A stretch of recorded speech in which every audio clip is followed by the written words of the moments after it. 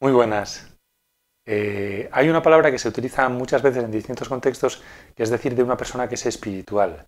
Y esto hay que entenderlo bien, ¿no? Porque, bueno, hay una lectura creyente de esto, ¿no? Y es quien habla de ser espiritual se refiere al espíritu de Dios o, bueno, pues de la manera que cada uno crea, pero incluso quien no ha escuchado decir de alguien, ¿no? O alguien decir de sí mismo, bueno, yo es que no soy creyente, pero soy una persona muy espiritual.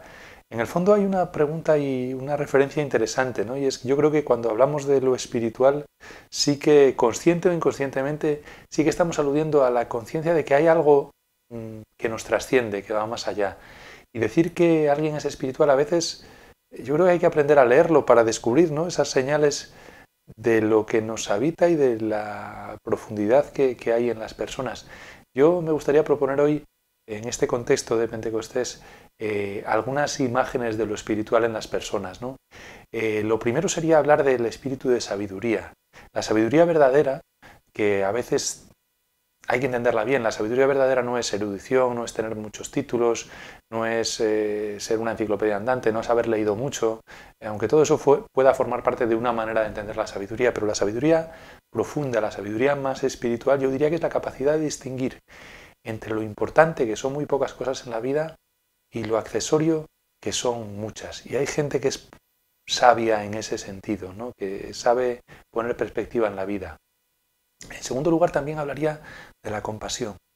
La compasión es algo muy humano, eh, a veces yo diría que no demasiado extendido, aunque bueno, eh, ¿quién nos estremece a veces con el dolor ajeno? ¿Quién nos estremece a veces con situaciones, con vivencias, con historias, con vidas que aparentemente no tienen ninguna vinculación con la tuya y sin embargo hay algo que hace que sientas eh, ese hilo que te remueve, que te inquieta, que hace que sientas esto no puede ser, ¿no? Y ese estremecimiento yo creo que es espiritual también. Hablamos de espíritu de misericordia y la misericordia es la capacidad de mirar al otro con ternura.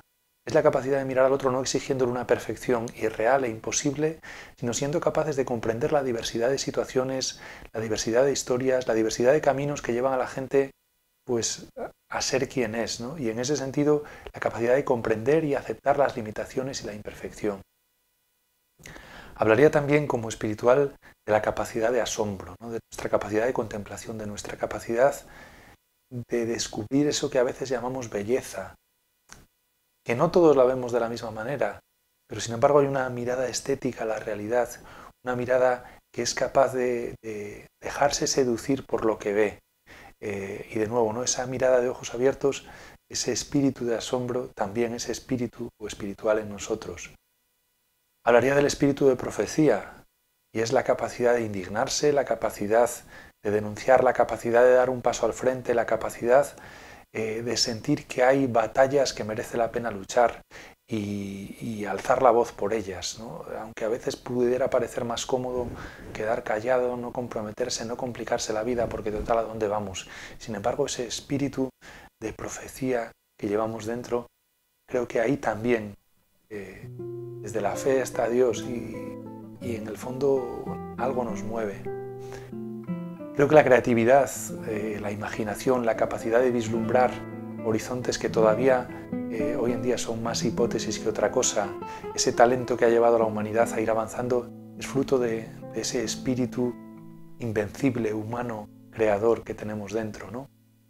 Y la gratitud, creo que el espíritu de gratitud también ¿no? es la convicción de que no todo nos lo merecemos, de que hay tantas cosas que no son por méritos, sino puro don en la vida, ¿no? desde la vida misma hasta el amor, que a veces es eh, gratuito y cuando lo recibimos nos desborda y nos asombra, hasta esa capacidad ¿no? de, percibir tanto que en la propia vida eh, se convierte de alguna manera en bendición.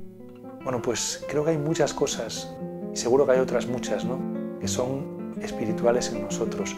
Cultivar eso se cultiva muchas veces en la reflexión, en el silencio, desde la fe, en la oración. Y creo que esa es la acción del Espíritu que celebramos en estos días, especialmente pues, los cristianos en Pentecostés.